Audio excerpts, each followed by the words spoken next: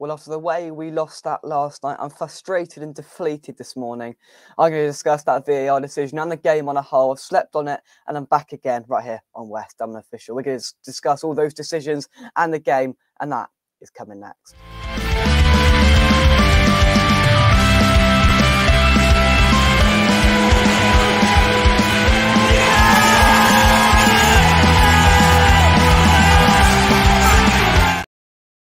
Well, Lucas Paqueta gave West Ham United a lead inside 13 minutes. It's the second time we've scored inside the first 15 minutes of a Premier League game this season.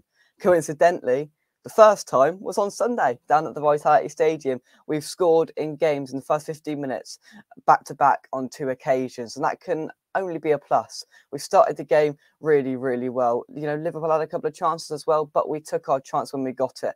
And what a well worked goal it was. Lucas Paqueta, I clap you all day. What a goal that is. You know, the build up play, the one touch football, the 1 2 with Antonio, and to bang it. I know it was in the top corner, but he hit it with some pace. Should have, should should Alisson have saved it? I don't know, and I don't really care to be honest with you. What a goal! And we're starting to see Paqueta really thrive now. You know, he's still getting his footing in in midfield, dominating his part of midfield really well, and he's making an impact going forward. This is the player we signed. It's taken a hell of a long time to see it, but we're finally seeing uh, the player that we signed, which is, you know, an absolute bonus for West Ham at the moment.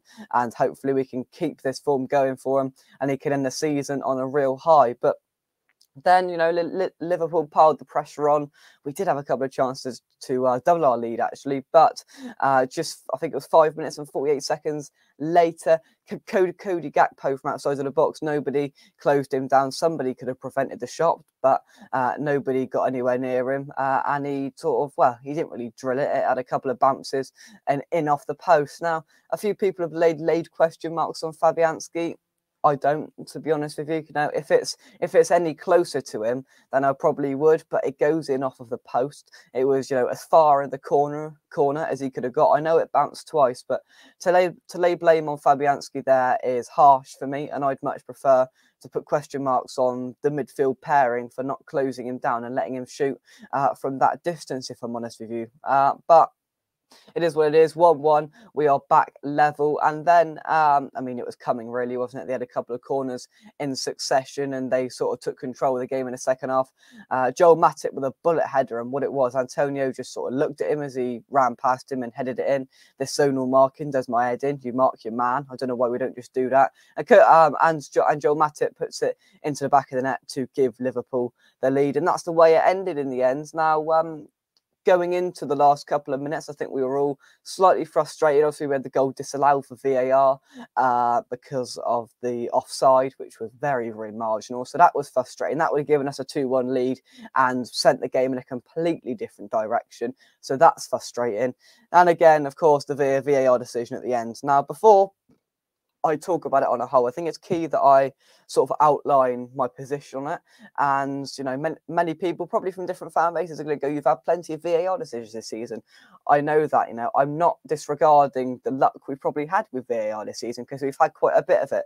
Bournemouth at home, Fulham games, um, just to name a couple there. But that still doesn't strip, strip, uh, strip, strip away the ability for me to criticise and say I think that VAR decision is wrong. I've still got the right to say that, and I'm going to do that right now because I think that decision was blatantly wrong. And I know Bournemouth fans do the joke about the Kehrer, sort of he was playing volleyball. Well, Thiago was playing basketball in the box for God's sake. Two clear contacts with his arm. It's as blatant as you get. How on earth is that not giving a penalty? And I'm not having this, it's breaking a full. And yes, probably that Chelsea Thomas Tomasic game was a clear handball, but the rule is he was breaking his full going down. That wasn't breaking his full. He was lunging into a tackle. There's three things that I find wrong with this. Firstly, lunging in in the box is always a danger when you're a uh, when you're a defender. It's dangerous play because because if the player on the ball, I can't remember who it was, if the player on the ball is in the wrong position there, he gets studs up halfway up his um, halfway up his shin. It's dangerous play, and he's lucky, Thiago, that he missed him. Actually, the second thing is the obvious, you know, coming down on the ball and stopping the track of the ball. It's as clear as you get. And the thing to come off the back of that is, as a result of Thiago stopping the ball with his hand twice, the ball doesn't go through to Danny Ings, who was waiting, he was on side to put it in because they had a one on one then, and you'd and you'd you know give Danny Ings a pretty good chance of scoring a one on one, wouldn't you? Because if you if you if you look at the clip again, he stops the ball and Danny Ings is coming in and he's got a clear path to the ball, and he probably would have put it in anyway. So you know where and how are we going to get an explanation out of this? And I understand we've had some good VAR decisions this season, but we're still not forgetting that one at Stamford Bridge because that looks bad on us now because Chelsea are crap and we lost to them at their place. that looks bad on us because that was a horrific decision. And I cannot understand. I've studied the law book and, you know, it baffles me at times as well. I don't think it's a natural position. A similar thing happened at the Bournemouth game at home. Um, where the player lunged in to try and block it. And for a lunging, it's probably a natural position the um, defender made, but his arm was up here. It, it stopped the track of the ball, and the penalty was given. I can understand it's slightly accidental with this Thiago one, but it still doesn't take away from the fact that it stops the ball going to its going to its obvious direction.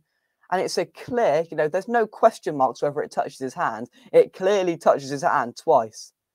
So how it's not given, I don't know. I really don't know. I think Joe Cole and Carlton Cole summed it up perfectly um, after they got the commentators off, who were um, who were obviously in Liverpool's back pocket. Listen, Steve McManaman's as sort of Liverpool fan as they come, and he's he's just about as biased as they come. So he, he was he was trying to you know force out an explanation for it. The neutral commentator was sort of like sitting on the fence a bit and like agreeing with Steve a little bit.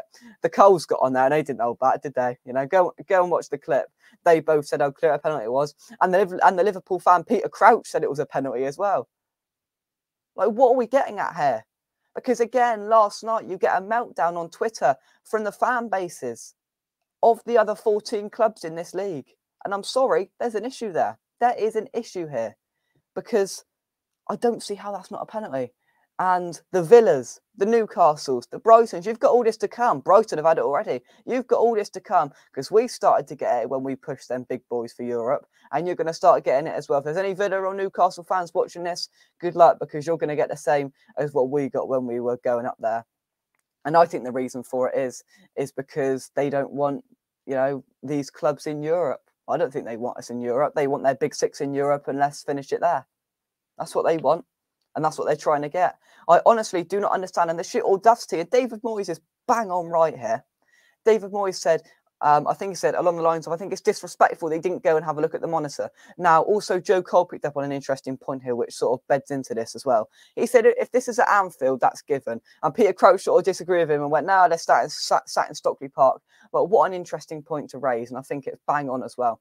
If that's at Liverpool, he is told to go and look at that monitor. If that's an Anfield, he's told to go and look at that monitor and they make a decision then. To be fair, I was urging West Ham just to kick the ball out. And Paqueta did in the end. He kicked the ball out of play and then sort of it was an anticlimax. Nothing happened. Moyes went over at the end and he said in his post match, he said, Well, I didn't get it. He, when the when the pundit asked, Did you get an explanation? He sort of chuckled and went, No, of course I didn't. Are we going to get an explanation today? Are we going to get one of them stupid apologies from the PGM, PGMOL, whatever they're called, right? Is Howard Webb got another payday?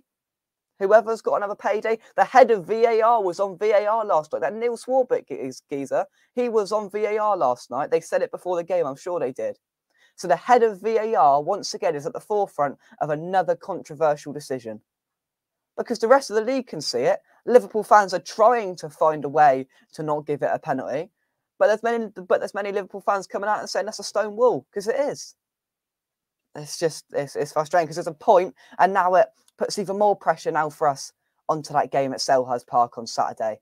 Um, and you know, if we wanted to do a Klopp and moan, we could do. Why are we playing Saturday half twelve? You know, that's that's annoyed me as well because we're playing because we played Thursday, Sunday, Wednesday, Saturday half twelve, but I'm sure we won't moan too much because we're not Klopp and Liverpool. But um, the one thing that made me laugh as well, Klopp went on his post match. He said um, to the, I think it was Jonathan Pearce, the BBC Match of the Day commentator. Um, he said, um, he said to him, "Have you seen it back?" Um, Jurgen Klopp said, "I haven't seen it." He said, "Yes." And Jurgen, Klopp said, "What did he? Th- what do you think?" And he said, "I think it's a penalty. I think it's handball." That's what Jonathan Pearce said. And then Klopp went, "No, I don't think it is." People are starting to wake up here because there's a serious fundamental issue here. And he didn't even go and look at the monitor. I think that is a clear and obvious error. And how VAR looked at that, and it's not as if they didn't have much time to make the decision because the ball was still in play for another good 60, 60 to 90 seconds before uh, the ball went out of play and they could talk to the referee and have a serious think about it. It's a pivotal moment in a game that's hanging by a thread, and he's not even told to go and look at the monitor. I don't understand it. That monitor is there for the referee to be able to have the ability to make the on field decision. And he's not even allowed to go and look at it now. Has he got to be told by his mates in Stockley Park to go and look at it? Because he should have said, Do you know what? I need to go and have a look at this. I need to have a second look. And if he'd done that, I wouldn't have any criticism of Chris Kavanagh, whatever his name is, right?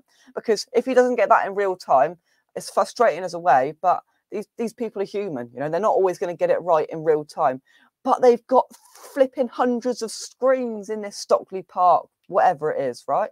They've got every angle under the sun, and every angle shows that he clearly stops the path of the ball getting to Danny Ings. It touches his hand clear as daylight twice, and whether it's accidental or not, I don't think it is. But if it is accidental, I don't know what the rule is with that.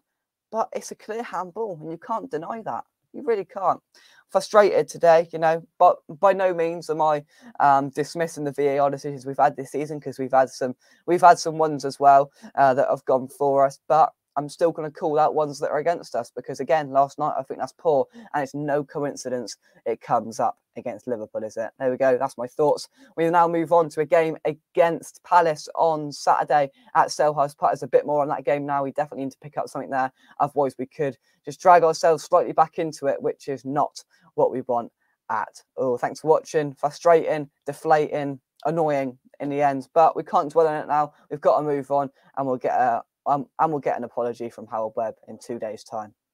Come on, you Irons. We'll see you soon right here on West Ham Unofficial. Thank you very much, and bye bye.